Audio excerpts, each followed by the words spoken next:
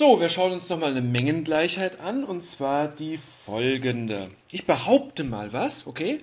Und das kann richtig sein oder wahr sein oder falsch sein. Müssen wir uns mal mit befassen. So.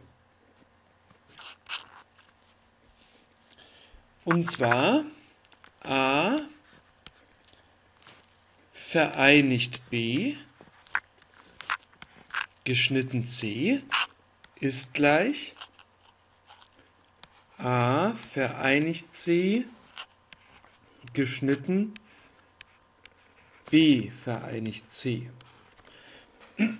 Okay, das ist jetzt eine Aussage, die kann stimmen oder nicht stimmen. Und gerade bei Mengen und Mengengleichheiten ist es oft sinnvoll, sich das mal in einem Venn-Diagramm zu veranschaulichen, um erstmal ein Gespür dafür zu kriegen, stimmt das denn oder nicht. Das können wir ja mal machen. Zeichnen wir mal die linke Situation auf. Nehmen wir drei Mengen hier hin. Das Venn-Diagramm für drei Mengen sieht ja so aus hier. A, B, C. So. A vereinigt B. Was ist A vereinigt B? Nehmen wir orange. A vereinigt B ist das hier. Das wäre sozusagen der erste Schritt. A vereinigt B zu bilden, das ist das. Und jetzt schneiden wir das Ganze noch mit C.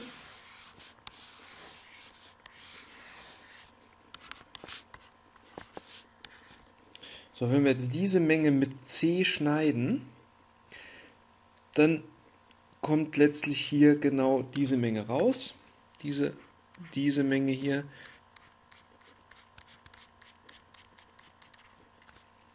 Wir schneiden die große Menge mit C, dann ist das hier die Schnittmenge. Okay.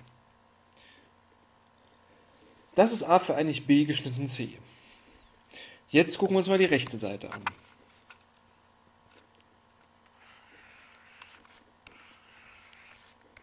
Na, ein bisschen eierig hier, egal. So. A vereinigt C ist. Für eine Farbe nehme ich ihn mal. Hm, lila nehmen wir mal hier. So. A vereinigt C ist A. So.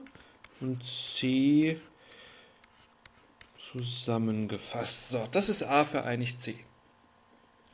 Jetzt machen wir daneben mal B vereinigt C.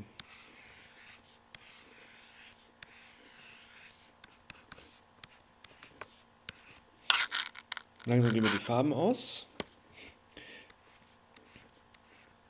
Das ist B. Und das vereinigen wir jetzt mit C, dann können wir das hier so durchschraffieren. So.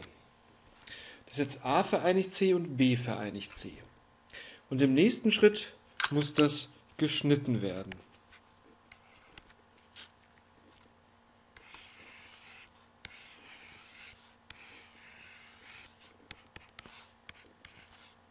So, jetzt gucken wir mal, welche Bereiche sind denn in beiden schraffiert.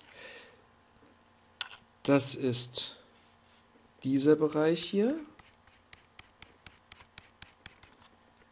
Dieser und dieser, aber auch dieser hier oben. So. Ja, und jetzt sieht man, dass beide Mengen nicht gleich sind. Beide Ergebnisse sind nicht identisch. Ne? Das heißt, diese Gleichheit gilt nicht. Falsch.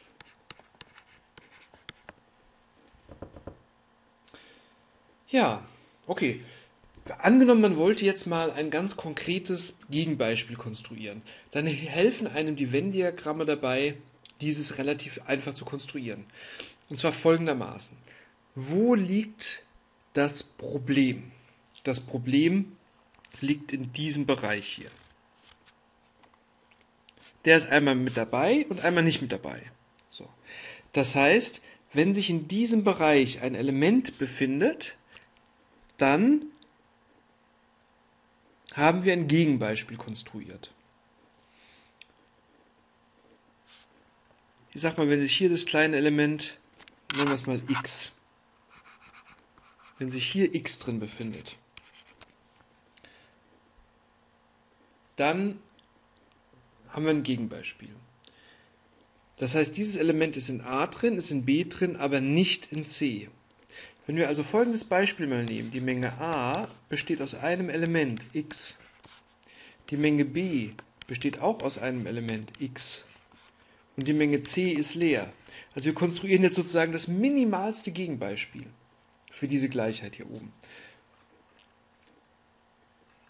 Wenn wir das so fassen, dann ist die linke Seite, schaut mal hier so hin, a vereinigt b geschnitten c ist dann gleich a vereinigt b ist x, die Menge mit x, geschnitten mit c.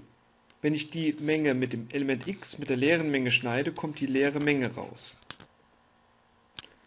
Hier haben wir jetzt auch konkret kein Element drin. Rechts allerdings a vereinigt c ist gleich a vereinigt c ist gleich diese Menge. b vereinigt c ist auch diese Menge. Und wenn ich die dann schneide, wenn ich diese Menge mit dieser Menge schneide, ja, kommt letztlich auch x raus. Ne? Also a vereinigt c geschnitten b vereinigt c ist dann gerade die einelementige Menge mit dem x. Also genau das, was hier gerade grün schraffiert ist. Ne? Die grün schraffierte Menge ist die Ergebnismenge, da steckt nur ein Element drin. Hier ist die blaue Menge, da steckt gerade in diesem einfachen Gegenbeispiel keins drin. So, das ermöglicht einem relativ einfach, Gegenbeispiele zu konstruieren.